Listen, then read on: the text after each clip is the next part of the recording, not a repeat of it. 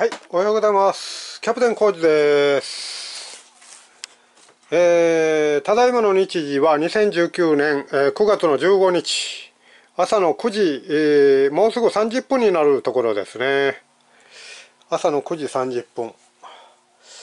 はい、えー、今日はね、あの、お天気、今日の福岡のお天気はね、あの、オール晴れマークなんですけれども、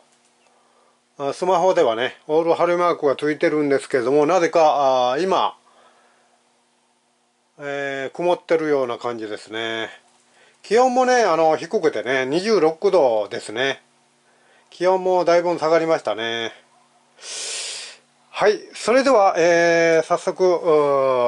本日、えー、本日第1回目のテーマに決めたいと思いますけども、え1回目のテーマは、昨日ですね、あのヤフオクで、えー、パソコン、デスクトップパソコンをね、えー、落札いたしました。中古のね。えー、こんな感じで5750円、税込み6210円。送料は1600いくらで、えー、合計7800円ぐらいですね。送料込みで、えー、7800円で、結構ね、値段上がりましたけどね。まあまあ、あの、相場通りの値段に落ち着いたのではないか。相場よりもちょっと安いかな。まあ、まあまあの値段でしたね。で、写真見てみますと、こんな感じで、えー、富士通の、ちょっと待って、スペック見てみますね。スペックが、こんな感じで、デスクトップパソコン、富士通ですね。で、Core i3 で、4GB ハードディスクが500、Windows 10認証、スタンド付き。ということで、ハードディスクは 500GB もあればね、えー、十分だと思います。実際このメインのパソコン、今使ってるパソコン1台ね、これ 80GB しか使ってないんですね。それで、あの、ハードディスクは 480GB あるんですけども、その中の 80GB しか使ってないんで、もうほぼほぼ、えー、Windows のあの OS が入ってる、入っていても80ギガしか使わないんで、そんなに使うことはないので、まあこれだけあればもう十分だということです。500ギガね。そして、えー、写真見てみますこんな感じでね、まあまあ、いいのではないかと思いますね。初めてね、デスクトップを買います、僕はね。ノートパソコンでもいいんですけども、ノートパソコンの方がね、あの、中古相場はちょっと高いような気がします。で、デスクトップの型落ちで、えー、まあ、Windows 7なんですけどね。これを Windows 10にアップデートしてるんで、まあ、あの、Windows 7はもう、えー、サポートが終了ですので、えー、Windows、この時期、あの、このね、Windows 10で、えー動く型落ちのパソコンになりますが、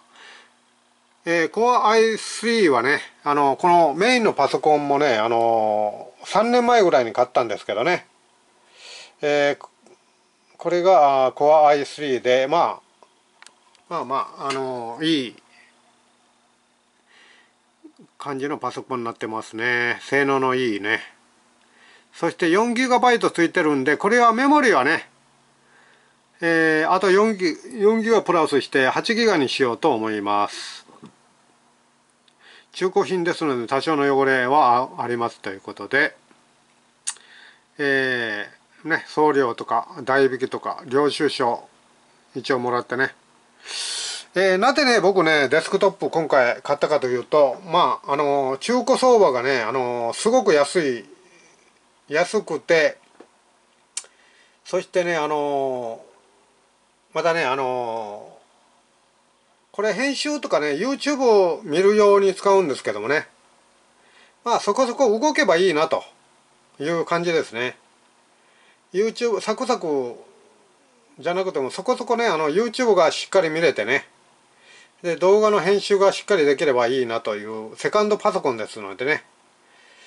ですので、え、今回も本当 この7800円で購入してまあ大体1年ぐらい使ってね壊れなければそのまま段ボールに入れて保管して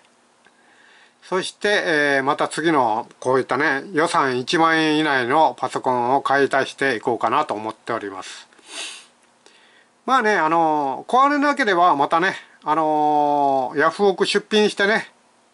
そしてそれであのいくらかお金が入ってきたらまたねこういったね、えー、パソコンを買い足していけばあまあ仮に、えー、3000円でまたね1年後売れたとしたら2750円で、えー、ね、えー、こういったあの機種が買えますので継ぎ足してもいいしもう段ボールに入れて保管しておけばあのいざ壊れた時にねあの保険としてねこのメインのパソコンが壊れた時に、えー、すぐ使えるような状態にしておきたいので、えー、セカンドパソコンを買うといった感じになります。はい。まあね良かったのではないでしょうか。まあ予算1万円以内やったらねもう本当新品こういった新品のパソコンであればねデルの新品のパソコンであれば5万円しましたのでそそれを考えるとまあ5万円したんでまあこれぐらい1万円以内のパソコンを3台ぐらい持っておくとかね。3台ぐらい落札してね持っておくということもいいと思います。中古ですけどね。あのまあ1年は持つと思いますのでね。